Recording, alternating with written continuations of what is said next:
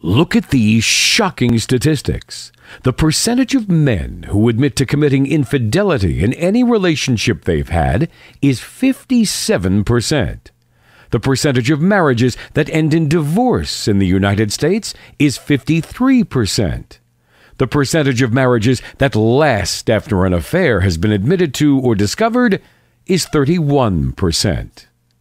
The Islamic attitude to polygamy. These statistics are not surprising. In its continuous pursuit of pleasure, humanity has not succeeded in regulating relations between men and women outside divine religions. Islam, the final divine religion, has superseded earlier religions. Anyone who thinks that Muslims give paramount importance to pleasure because Islam allows a man to marry up to four wives at the same time should have a careful look at the following figures. They confirm that the overwhelming majority of men in the United States have had more than one partner. The number of partners may go up to 21. And we need to have a look at this table. Moreover, 2 to 3% of children are brought up by men who are not their real fathers because they are the result of adulterous relationships. Islam protects society against such abuse but does not give a man any absolute authority.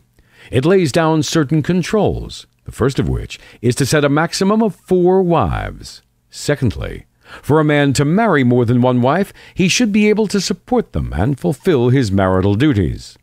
Thirdly, he must treat them with absolute fairness.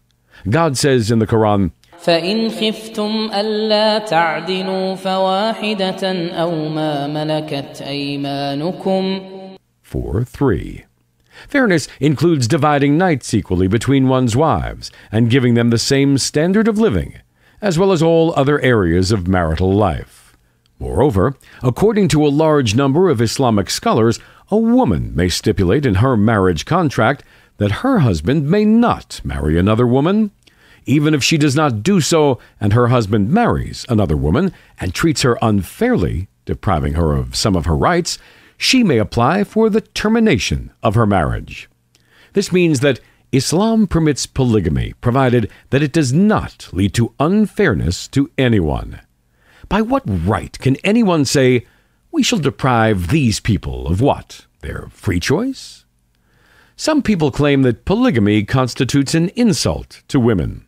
Here, we ask a question that may be answered by anyone whose vision is not blurred by pornographic films or casual relationships.